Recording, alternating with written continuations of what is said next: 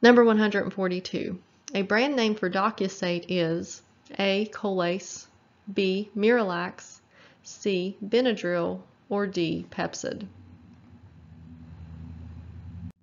And the answer is A. Colace is a brand name for Docusate, and that is a stool softener that's used for constipation.